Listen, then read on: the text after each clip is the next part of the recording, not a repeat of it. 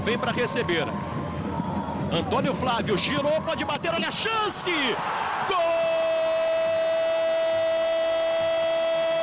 E um golaço do Antônio Flávio para o São Caetano. E mais um lindo gol, Antônio Flávio. Ele recebeu, girou, puxou para a perna esquerda, arrematou no ângulo o terceiro gol do São Caetano.